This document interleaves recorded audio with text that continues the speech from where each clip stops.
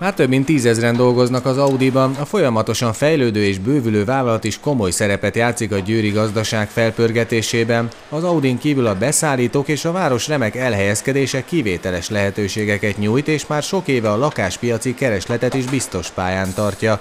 Ezt írta az egyik legmeghatározóbb magyar gazdasági portál a napokban.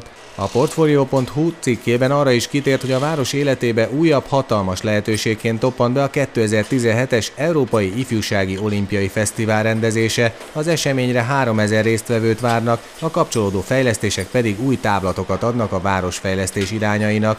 Az EOFRA multifunkciós csarnok és úszoda épül, nem is beszélve a hozzájuk kapcsolódó úthálózat kiépítéséről. Az egyre jobban pörgő győri gazdaság kitörési pontjairól a Portfolio.hu után szerdai híradónkban Porkai Zsolt polgármester is elmondja majd véleményét.